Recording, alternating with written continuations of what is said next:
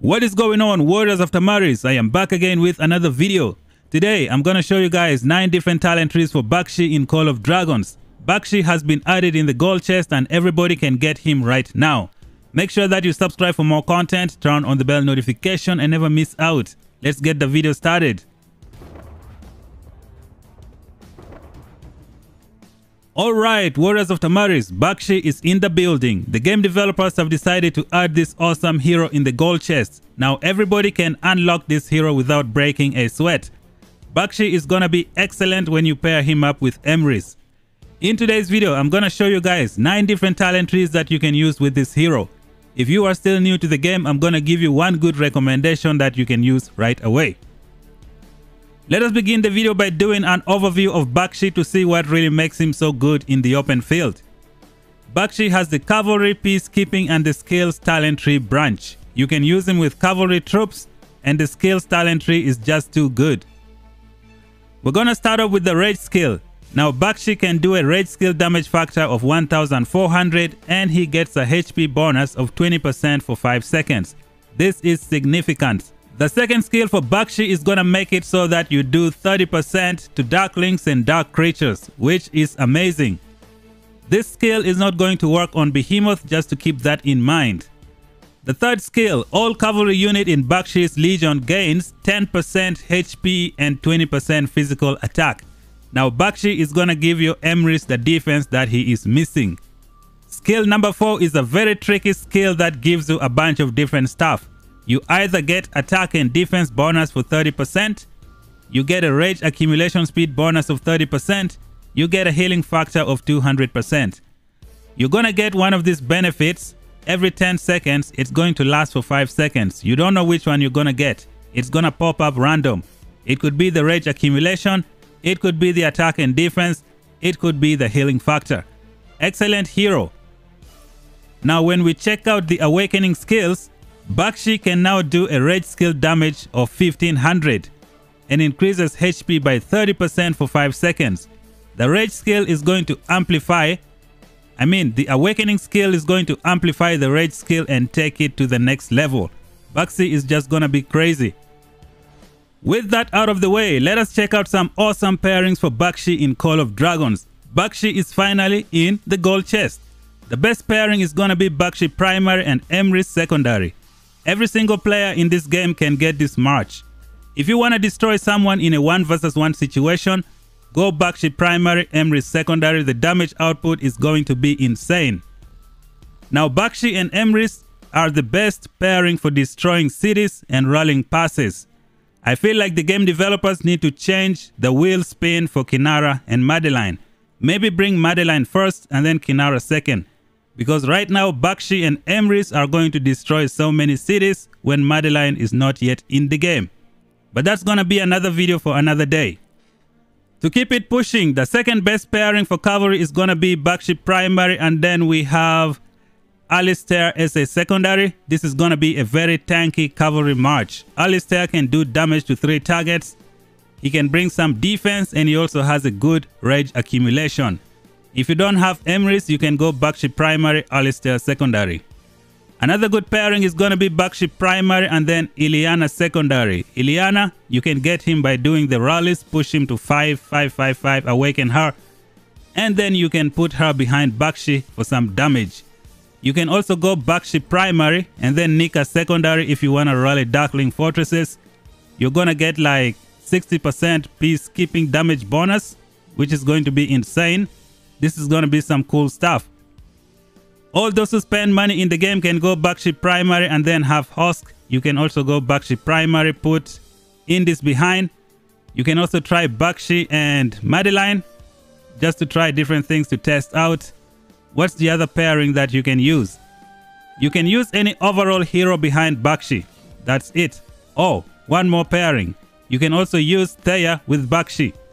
Now, if you're in the Spring Warden faction, you can use the Eagles with Bakshi. Now, when you use the Eagles, you're to get this benefit right here. You get attack bonus of 10% and you get another March Speed bonus of 20%.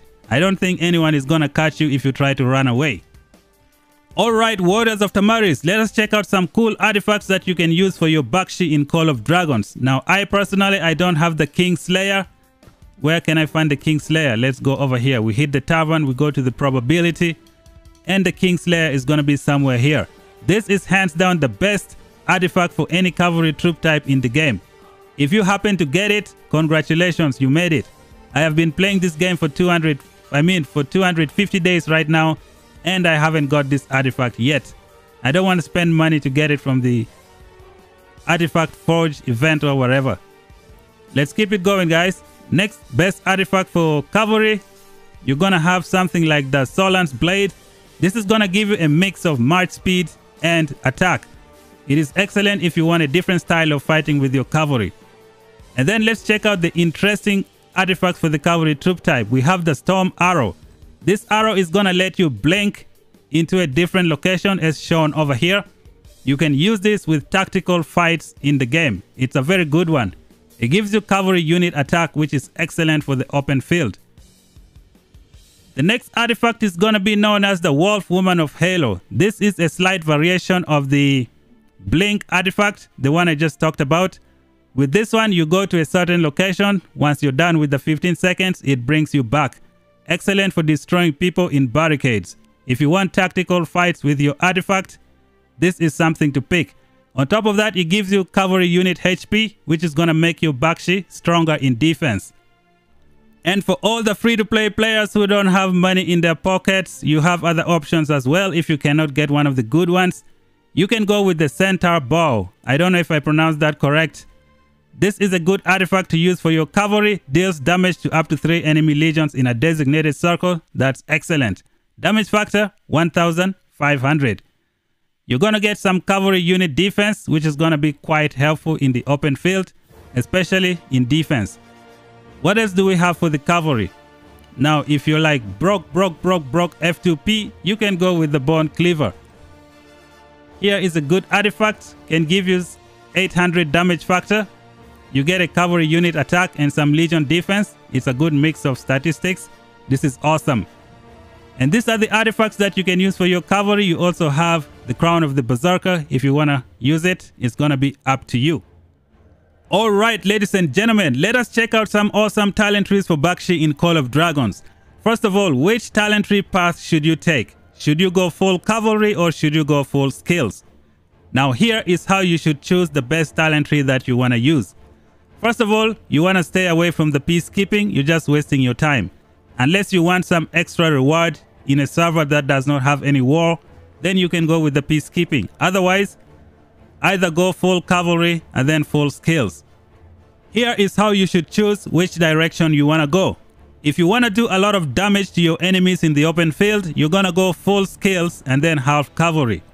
Now, if you want to use different tactical fights with your enemies, you're going to go full cavalry and then half skills.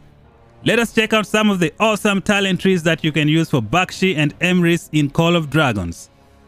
Talent tree number one. It's going to be called Skills 1. This is the talent tree you should use if you don't know where to begin. I recommend this talent tree to all the free-to-play players, all the pay-to-win, pretty much everybody in the game. If you want a good talent tree for your Bakshi, this is the right place to start. Now let's see what makes this talent tree so good for you in the open field. Zoom it down a little bit and then go over the points one by one. We start off with the bottom, you get the attack, you get the march speed, which is needed for Bakshi. You get the overall health. And then over here you have this mighty power talent, which is going to make your hero do 2% more hero skill damage and also get a 10% chance to gain 20 extra rage. Now this skill usually goes with the skills that's on the right hand side. So right now we're going to go on to the left hand side to see what we're going to pick for the cavalry talent tree. You're going to start off with the march speed. This is going to give you 15% additional march speed.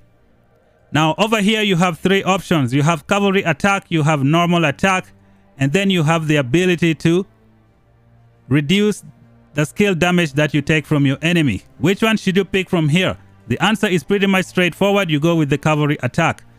The cavalry attack is going to affect your rage skill. It's going to affect your normal attack. Therefore, when you pick this one, you get the best of both worlds. This one is only going to boost your normal attack. However, this one will boost both your rage skill and your normal attack. Moving on, we're gonna come over here and grab the Intimidation. Your Legion deals 0.8% more hero skill damage. This is exactly what you're looking for. You're gonna have Bakshi primary, Emry secondary, the rage skill damage output is gonna be insane. And then in this node, you're gonna take the perfect ferocity. Your legions gain synergy when they enter battle, increasing their hero skill damage dealt by 15% for 10 seconds.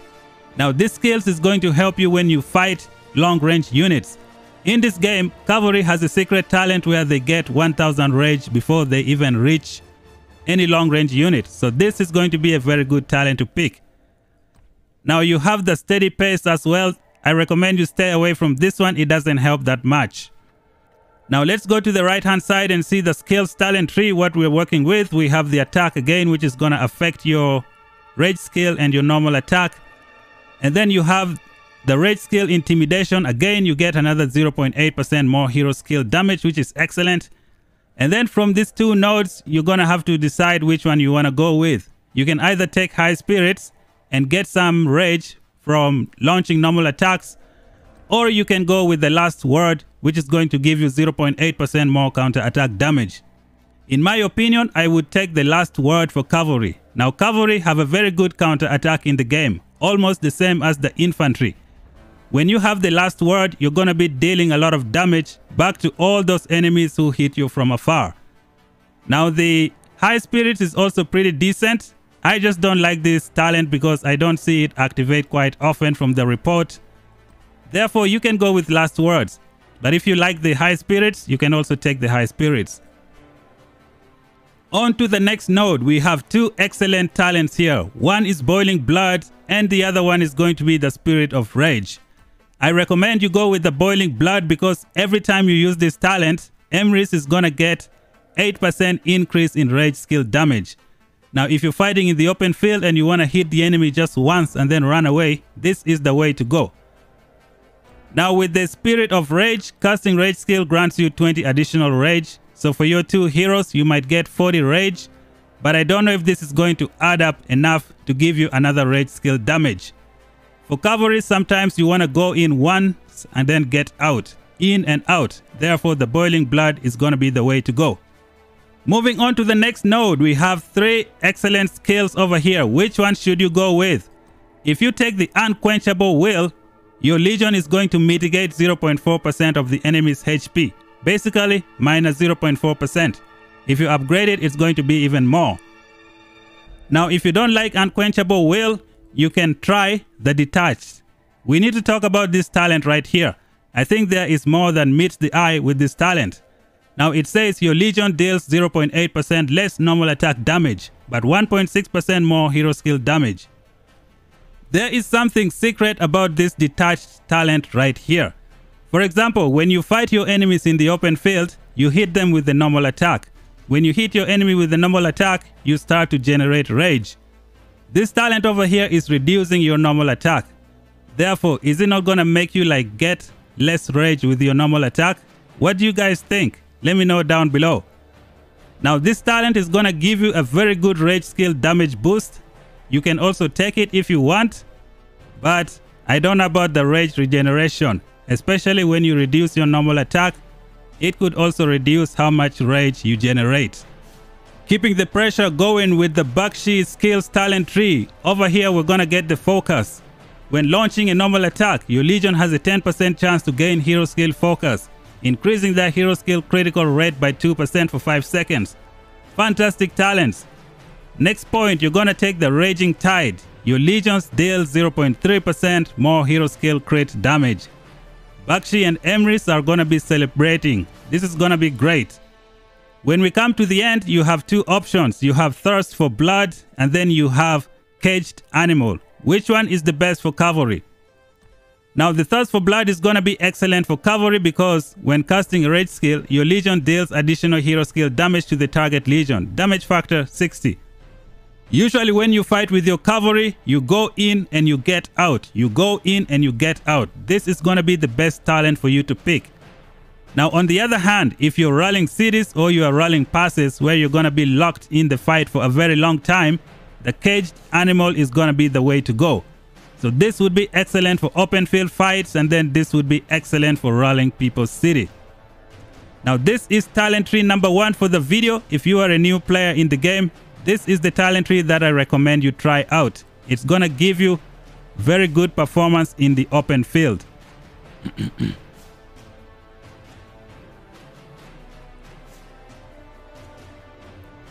talent tree number two, known as the Skills 2.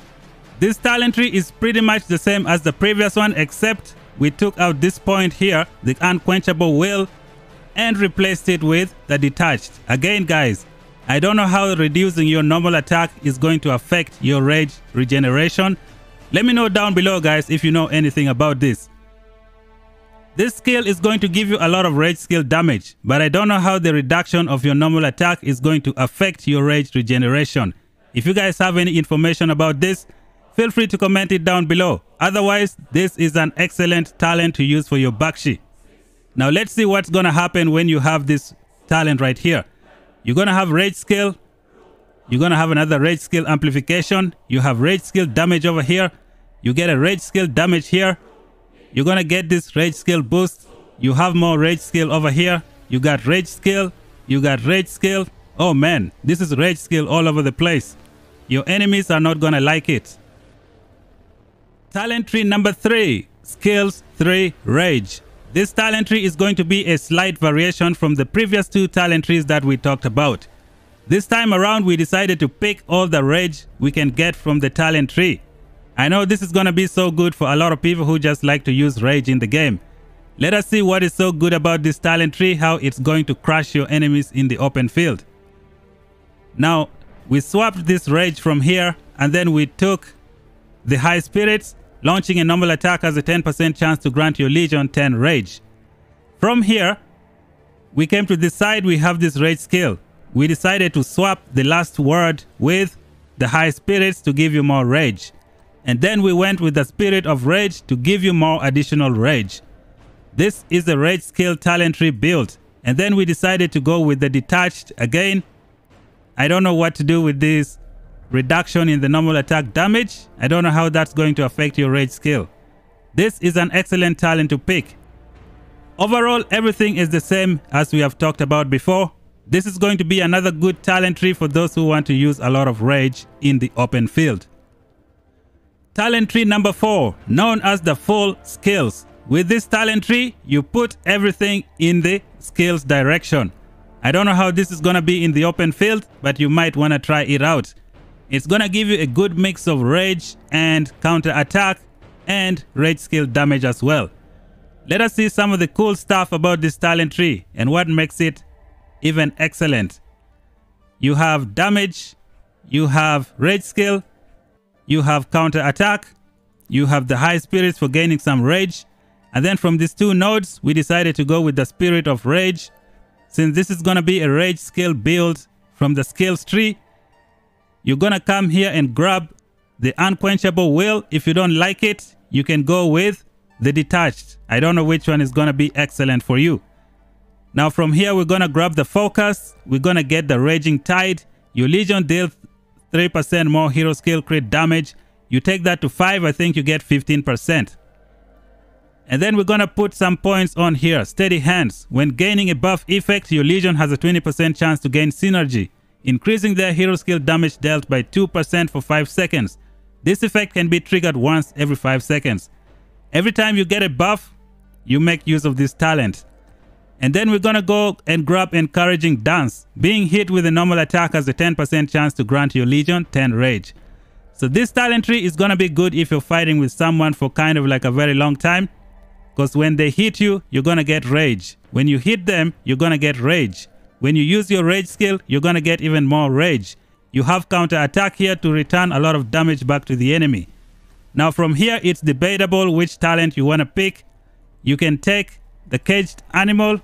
I mean, you can take the thirst for blood to get damage factor of 60, or you can go with the caged animal if you're to be fighting for long.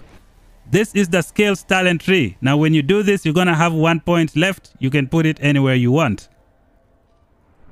We are finally done with the full skills talent tree branch. It is time to check out the cavalry talent tree branch. This is going to lead us to talent tree number 5 for the video. This one is going to be called Cavalry 1. With this talent tree, you can use it with the cool artifacts in the game, like the Wolf Woman of the Halo or the Storm Arrows. If you go in the cavalry direction, you're going to need those artifacts to help you out in the open field. Now let us see what talent tree cavalry 1 is to be good for. Gonna zoom it down and see the points that we pick for this talent tree. Now from the right hand side, we have talked about it pretty much. You know, I like to value counter attack more than the high spirits for the cavalry troop type. And I also like boiling blood over the spirit of rage. This one is just gonna take your Emrys to the next level. Now let's go back to the cavalry side of the talent tree and see what's going on. As usual, you get the speed, you get the attack for both normal attack and the rage skill. We're gonna get more rage skill damage and then we're gonna get the perfect ferocity. Now we're gonna go deep into the cavalry talent tree and see what is going on. We're gonna start off with this point right here, swift analysis. Your legion takes 0.8% less counter attack damage. The other alternative was reduce your defense by 0.3%. This is something you don't really want for your cavalry. The marksman counter tactics, this is just gonna let you do more damage to marksman in the game. Therefore, we're gonna be going with the swift analysis. From here, we're gonna go up top and take the guerrilla. Your Legion takes 0.5% less damage while marching. This is even great. Basically, you charge towards those long range units, you hit them and then you run away. You can also take less damage while you get away. From here, we're going to come down here and grab the pitched battle. When your legion's unit count is below 50%, their attack is increased by 0.5%. And then in the last two nodes, I usually go for the blood mark. Your Legion deals additional hero skill damage, physical damage factor 150 when casting rage skills. This effect can be triggered once every 10 seconds. Now it's a pretty decent talent. What's the other alternative? You have the inescapable. When your legion consists entirely of cavalry units, they slow enemy legions when intercepting them and inflict defense break, reducing their march speed by 30% and their defense by 5% for 3 seconds. This effect can be triggered once every 30 seconds. I personally, I don't like this talent. You get all of these good benefits just for 3 seconds. And sometimes when you target the enemy, by the time you get to them, 3 seconds is done and this inescapable talent become a waste of time. Therefore, I think you better go with the blood mark. You get the 150 physical skill damage every 10 seconds, which is awesome. So this talent tree is gonna synchronize very well with the skills talent tree. You have rage skill damage from here. You have more rage skill over here. In the first 10 seconds of the match, you're gonna get 15% rage skill damage. This is just too perfect. Now this talent tree is gonna be great with artifacts like the Wolf Woman of Halo or even the Storm Arrow. You can use it for tactical fights if you want. Talent tree number 6 for the video is gonna be called Cavalry number 2. This talent tree is unique in its own way. If you want to destroy your enemies in the open field with some craziness, this is the talent tree to pick. Now I'm gonna show you exactly how you can use this talent tree and make good use out of it. Zoom it down a little bit and then show you guys the point that we're gonna be working with. Well, we're gonna go all the way to the last nodes of the cavalry talent tree. Everything is pretty much the same as the previous talent tree. Now I'm going to show you how this talent tree is going to be excellent with tactical fights.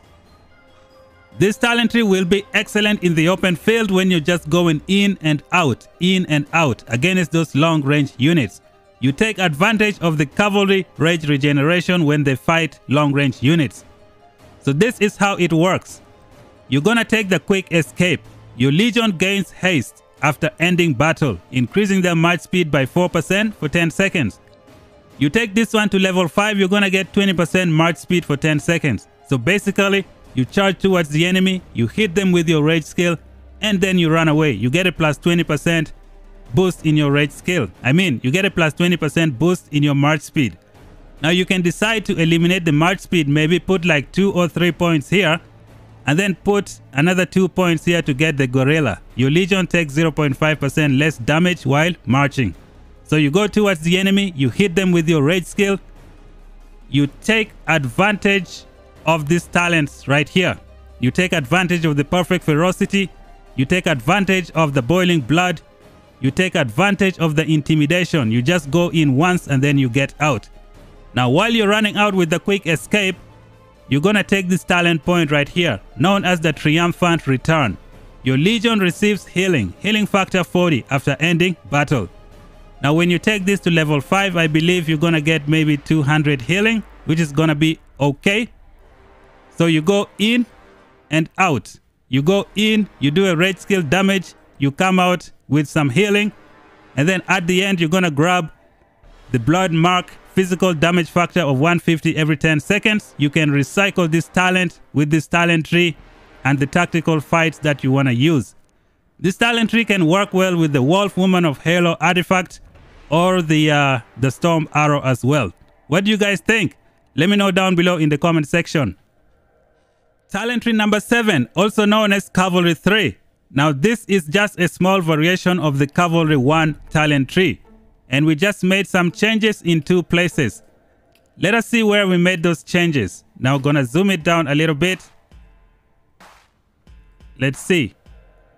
Zoom it down a little bit and show you where I make the change. Now, like I said before, you can go with either the counter attack or you can take the high spirit. So this is where we made the change with this talent tree for the cavalry if you want to use it. And then also you can go and grab the spirit of rage if you want but overall, this talent tree is the same as Cavalry 1. We just made changes in two places. And we also changed the high spirits over here. We removed intimidation and then decided to go with the high spirits. You're gonna have to decide whether you want the rage or you want the rage skill damage. It's gonna be up to you. Talent tree number 8 is gonna be the peacekeeping talent tree. This is something I don't recommend to a lot of people unless you're in a server that is just farming 24 7. Now this talent tree is called Peacekeeping Rage. You're to get some good stuff from the talent tree. You get some good extra rewards. I don't really need to talk more about this talent tree. Like, I don't really recommend it. These are the points we picked from the peacekeeping side. You keep going up, you get this. You come over here, you grab the morale. And then at the end, you're to take this skill right here known as the Sunbather. When your legion attacks Darkling and Dark creatures, they are healed every time their commander casts a rage skill. Healing factor 300. Sounds like a very good talent to have. Now, if you don't want the Sunbather, you can always go with the War Trophy. Your Legion gains extra item rewards after defeating Darklings and Dark creatures. So this is talent tree number 8. And then we're going to go and check out talent tree number nine, which is also peacekeeping, I believe. Let me push it towards number nine. Yep, this is talent tree number nine. Again, it looks like the previous one. Let me see if I made some changes.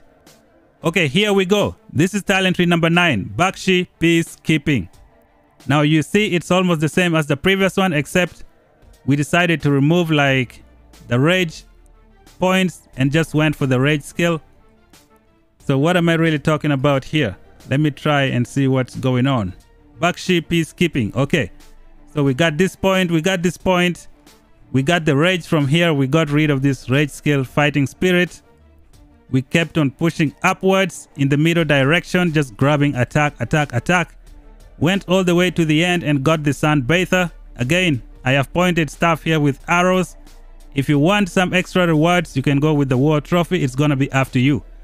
I personally, I don't recommend the peacekeeping talent tree for this awesome hero. You can use your Bakshi for doing something different. And that's it for the talent tree for Bakshi. If you're still new in the game, you should go with the talent number one that I showed you in the video. I think it's called Skills 1. You can also try Skills 3 Rage, which is also pretty good. Pick one between those two if you don't know what to pick. Now, if you want a good cavalry talent tree, you can try the cavalry one as well if you don't know what to pick. So this is pretty much everything for the video. I want to thank you guys for watching. Bakshi is going to be in the gold key. Everybody can now unlock him. Thank you guys for watching. Until then, talk to you guys in the next video. Bye bye for now.